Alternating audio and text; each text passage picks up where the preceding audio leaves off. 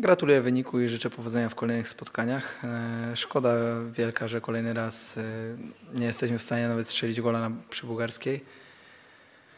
Myślę, że w kolejnych spotkaniach musimy e, połączyć zadowalanie estetów z wynikowcami, bo wcześniej wyniki mieliśmy dobre, ale tą grę się gorzej oglądało, teraz grę się ogląda lepiej, ale nie ma wyników, więc mam nadzieję, że w końcu zagramy w tej rundzie mecz, gdzie będzie się nas i dobrze oglądało i zapunktujemy. Bardzo dziękuję trenerze. Mikrofon jest na sali. Czas na pytania. Proszę przedstawić się, podać nazwę redakcji. Dobry wieczór, panie trenerze. Mieszko Grabowski, Radio Meteor. E, Kapitan zespołu Dawid Szymonowicz udzielił nam e, wypowiedzi i powiedział, że mecz z ŁKS-em przegrała nam skuteczność. Czy po tym meczu można powiedzieć podobne zdanie, ponieważ ta sytuacja z 45 minuty mogła ustawić zupełnie spotkanie? No, nie wykorzystaliśmy swoich e, sytuacji. E, Lech dwie wykorzystał, Welde na dobrej jakości uderzył i e, przegraliśmy mecz, ale myślę, że oprócz skuteczności jeszcze były błędy, które popełniliśmy przy straconych bramkach i nie tylko, bo jeszcze były dwie bardzo groźne sytuacje Lecha, więc e, no, to spotkanie przegraliśmy dlatego, że zrobiliśmy bodajże cztery takie błędy, po których mógł paść gol, po dwóch padła bramka, bo, bo Lech ma jakościowego zawodnika, jakim jest Welde, e, no my swoich szans nie wykorzystaliśmy i, i tyle. No. Będziemy pracować dalej, żeby, żeby te strzały celne zamienić na bramki. Dobry wieczór panie trenerze, Marcin Pawlicki, Polska Agencja Prasowa. Panie trenerze, czy ta poczwórna zmiana nie była jednak troszeczkę za późno, bo ona dokonana została w sumie 20, nie więcej, 25 minut po, po stracie gola. Ja wiem, że pan chciał wcześniej, jeszcze przed y, stratą drugiej bramki, ale tak czy tak, czy tak trochę, trochę chyba pan za długo czekał moim zdaniem. No, od, to tak, że wyglądamy dobrze. Motorycznie też e, sprawdzaliśmy swoje GPS-y i było wszystko ok, a skoro wyglądaliśmy całkiem nieźle, było ok, mm, no to stwierdziliśmy, że te zmiany nie są aż tak potrzebne, bo mogłyby coś zaburzyć, a no prawda jest taka, że między stratą bramki a tymi zmianami przecież mieliśmy też swoje sytuacje na wyrównanie, więc gdybyśmy strzelili mm, gola, to teraz byśmy nie mówili o tym, że te zmiany były za późno.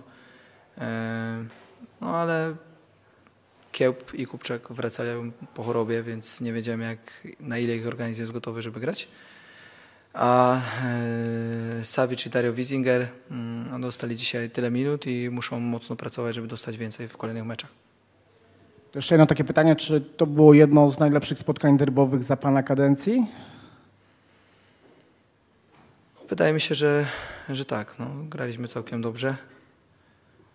I wydaje mi się, że generalnie z gry było całkiem nieźle. Eee, muszę przeanalizować w głowie, jak wyglądały poprzednie mecze. No, pewnie jedno z najlepszych. Dawid Cytrowski, Polskie Radio Poznań. Dobry wieczór, panie trenerze. Pan mówi, że jedno z lepszych spotkań. Faktycznie tak trochę odważniej wyszliście niż, niż ostatnio. Też bardzo dobry mecz ostatnio z ŁKS-em, tylko pan też o tym wspominał, że wy, wyników to nie dało. Zastanawiam się, czy to pana trochę zraża do tego bardziej y, efektownego, może to źle powiedziane, bardziej odważnego stylu gry. Czy nie będzie pan trochę właśnie zrażony tym, że, że gra co prawda wygląda lepiej, ale wyników z tego, z tego nie ma. Tak staram się wybadać pana samopoczucie po tym, po tym meczu, kiedy, kiedy co prawda graliście lepiej niż, niż wcześniej, ale, ale gorszy wynik osiągnęliście. No nie, nie będziemy się zrażać, bo e, my nie przegraliśmy tego meczu ani z Lechem, ani z ŁKS-em, dlatego że graliśmy lepiej w piłkę, tylko po prostu byliśmy nieskuteczni i zrobiliśmy jeden błąd przy stałym z ŁKS-em i dzisiaj zrobiliśmy 3-4 błędy przy, przy kontrataku. Natomiast e, wszystko zmierza do tego, żeby ten styl gry był połączony z wynikami w piłce nożnej, bo cały czas jest mowa o tym, że jak Warta chce sprzedawać zawodników, to musimy poprawiać styl gry, więc my ten styl gry po, poprawiamy. Natomiast no, moja diagnoza wcześniej była taka, że jak e, my atakujemy w ataku pozycyjnym i przeciwnik ma więcej osób w polu karnym, to my bramek nie strzelamy. A w momencie, kiedy bazujemy na pressingu, na przechwytach w środku, na szybkich kontrach i przeciwników w polu karnym jest mniej, to tych bramek strzelamy więcej. I uważam, że dzisiaj już mamy drużynę, która jest w stanie e, zmienić oblicze Warty, bo mamy zawodników gotowych motorycznie, mamy kadrę szerszą. E, na boisku mm, treningowym jedenastkę Lecha nie imituje ośmiu juniorów, tylko zawodnicy, którzy są w stanie w ekstraklasie grać, a to ma duże znaczenie. A wcześniej tak nie było i po prostu ten styl był inny, bo graliśmy tak, żeby to nam dawało punkty. Nas było więcej w naszym polu karnym, więc się broniliśmy, a w momencie, kiedy strzeliśmy bramki- to przeciwników było mniej w polu karnym, tak jak chociażby te dwie bramki z Rakowem. Ale finalnie uważam, że stać warte na to, żeby połączyć lepszą grę w piłkę z e, lepszymi wynikami. E, No i Izraelu wraca. No właśnie, a propos, on już będzie do gry po, po tej przerwie na reprezentację, czy, czy jak to wygląda? Jak nie będzie, to ja zrezygnuję. Musi być do gry. Wiem, że będzie to słuchał, więc musi być do grania. Oczywiście żartowałem, ale Zrelak musi grać. No, jak chcemy się utrzymać, to musi grać. Po prostu zawodnik tego pokroju musi grać. Jeszcze właśnie dopytam tylko na koniec, a propos tej przerwy. 18 dni macie do następnego meczu z Zagłębiem. Rzadko się zdarza aż tak długa przerwa w środku e, sezonu i nie jest to przerwa e, jakby zimowa zaplanowana, tylko jakby w trakcie rundy. To No, sporo czasu na to, żeby, żeby sobie tak spokojnie popracować, także te rozwiązania ofensywne. No tak chyba wyjątkowo długa i nie wiem, czy nie jakaś rekordowa, bo y, najdłuższą jaką mieliśmy to od piątku do poniedziałku. E, już jedną taką mieliśmy, tu rzeczywiście wtorek. Mm, ale wydaje mi się, że biorąc pod uwagę, że zmieniamy oblicze, żeby Warta też w przyszłości mogła zawodników sprzedawać i promować i żeby grać bardziej ofensywnie, to ten czas jest nam potrzebny. Dobry wieczór panie trenerze, Przemysław Chlebicki z TVP Sport. Chciałbym zapytać o ten plan na mecz w zasadzie, bo domyślam się, że plan był podobny na pierwszą i drugą połowę, jednak e, pierwsza bramka dla Lecha jednak trochę tutaj było widać, że nieco pozmieniała. Też widziałem, że e, trener przekazywał uwagi zawodnikom. Chciałbym pana zapytać, czy coś się właśnie po tym pierwszym golu zmieniło? No, Stavropoulos zagrał e, piłkę za krótko. Jak już chciał grać długim podaniem, to miał jej nie grać na głowę obrońcy, tylko za tego obrońcę.